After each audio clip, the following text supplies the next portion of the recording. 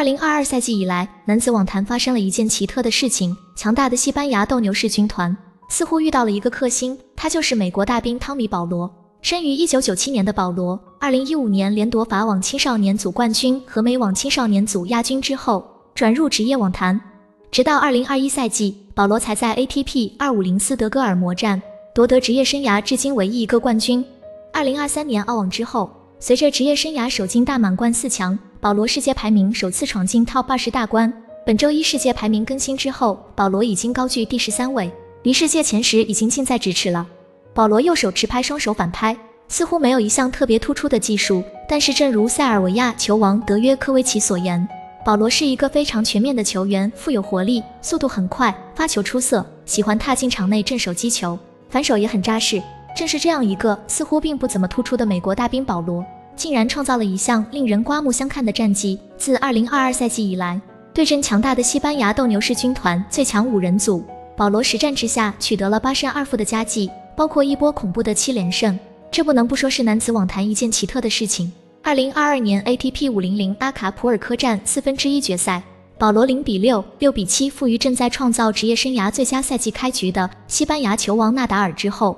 摇身一变成为西班牙斗牛士军团的克星，收获一波对阵西班牙斗牛士军团最强五人组的七连胜。二零二二年加拿大罗杰斯杯大师赛第二轮，保罗挽救一个赛点。逆转击败对北美赛季雄心勃勃的西班牙超新星阿尔卡拉斯。年底巴黎大师赛，保罗更是前三轮连胜西班牙悍将阿古特、球王纳达尔、新晋大师布斯塔。二零二三年澳网第二轮，保罗鏖战五盘击败西班牙好手弗基纳，第四轮再胜阿古特，最后闯进职业生涯第一个大满贯四强，职业生涯世界排名首进前二十。二零二三年迈阿密大师赛第三轮，保罗再胜弗基纳。到了这个时候，面对一波惨痛的七连败，西班牙网球星的掌旗人阿尔卡拉斯终于站了出来。二零二三年迈阿密大师赛八分之一决赛，阿尔卡拉斯力斩美国大兵保罗，为西班牙斗牛士军团挽回了一点颜面。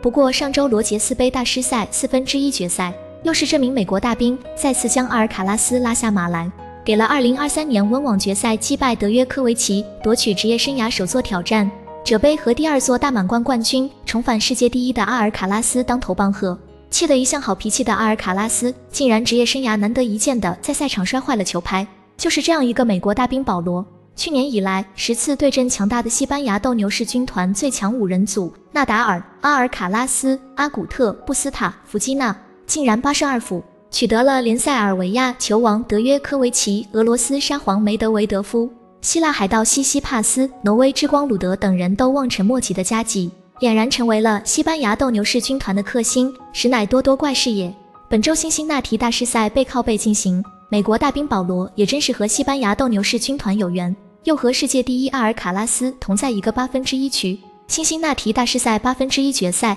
阿尔卡拉斯 vs 保罗，是美国大兵保罗继续教训斗牛士军团呢，还是阿尔卡拉斯之死后勇为斗牛士军团争光添彩呢？我等球迷拭目以待。来源：网球之家，作者七彩豆粉。